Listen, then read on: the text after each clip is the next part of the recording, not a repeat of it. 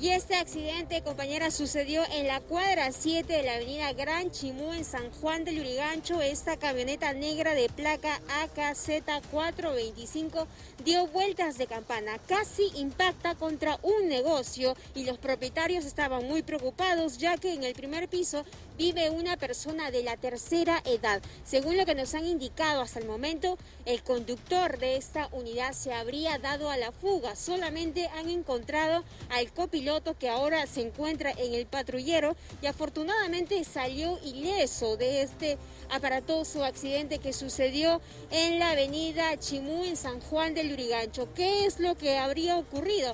Bueno, se está manejando la versión que el conductor se trasladaba a excesiva velocidad. Asimismo, un camión que se trasladaba por la avenida Pirámides del Sol eh, habría cerrado el paso al conductor de esta camioneta y por ello es que perdió el control y dio vueltas de campana. Los vecinos a esta hora de la madrugada salieron de sus viviendas, están por sus ventanas muy preocupados porque escucharon este fuerte impacto y cuando salieron eh, pensaban peor.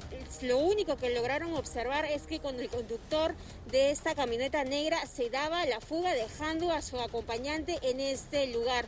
Ya la policía y los bomberos están trabajando para retirar esta camioneta negra de la vía.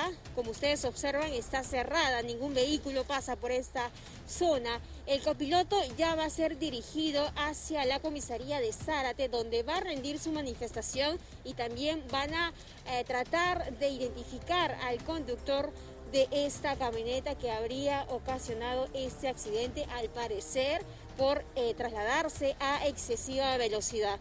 Con este reporte, compañeras, regresamos a estudios.